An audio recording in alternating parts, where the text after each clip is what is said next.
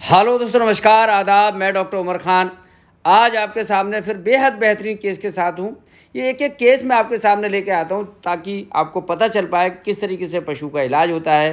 तो ये किस तरीके से पशु को बचाया जा सकता है कौन सी बीमारी होती है, ये सारी चीज़ें मैं एक एक करके बताऊँगा। उससे पहले मेरी आपसे रिक्वेस्ट है कि मेरे चैनल को सब्सक्राइब करें, लाइक और शेयर करें।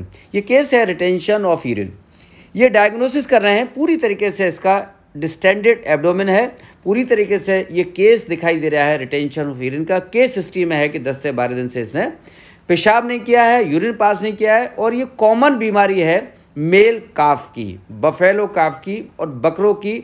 ये कॉमन बीमारी है और इस कॉमन बीमारी का इलाज, सिर्फ़ एकमात्र इलाज है, वो इलाज है सर्जरी तो इसका हम सर्जरी करते हैं रिटेंशन यूरिन को हम सर्जरी के द्वारा ठीक करते हैं। ये पूरी तरीके से पहचाना जाता है।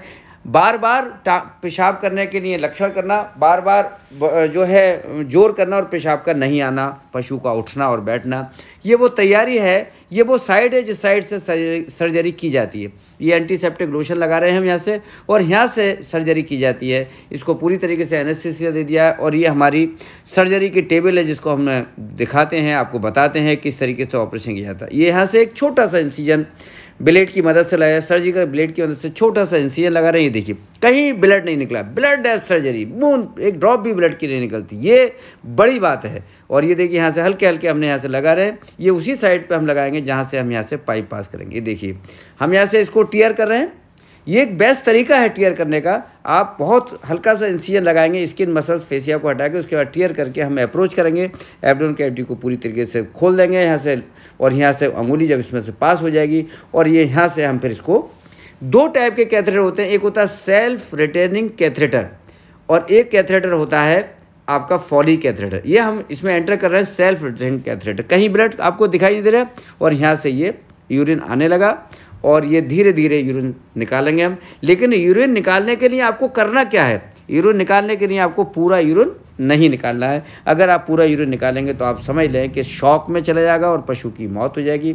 लवारा, यहीं पर जो हमारी सर्जिकल टेबल है, इसी पर लेटा रह जाएगा और लवारा यहाँ से मर जाएगा। आपको कोशिश करनी है कि उसका टू थर्ड निकालना है यूरिन वन थर्ड उसके अंदर छोड़ना है। तो ये तीन टाइप के केसेस मिलते हैं। रैप्चर ऑफ़ यूरिन ब्लेडर मिलेगा इंटैक्ट यूरिनरी ब्लेडर मिलेगा रैप्चर ऑफ़ यूरेथ्रा मिलेगा। ये अलग अलग केस मिलते हैं अलग अलग टाइप के मिलते हैं। ये उन्हीं लवारों में ज़्यादा पाया जाता है जो लवारे माँ का दूध ज़्यादा पीते हैं।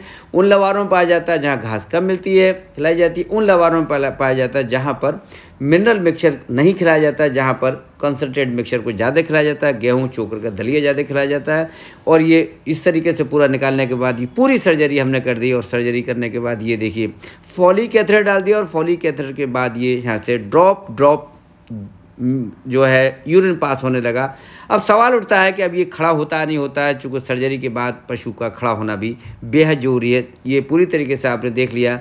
ऑपरेशन कामयाब हो गया, अब ये यहाँ से खड़ा हो जाएगा। और ये खड़ा हो गया, यहाँ से कैथरेटर से धीरे धीरे पेशाब आने लगेगा। और ये देखिए, ये एक बेहतरीन नमूना सर्जरी का आपको देखने मिलता है।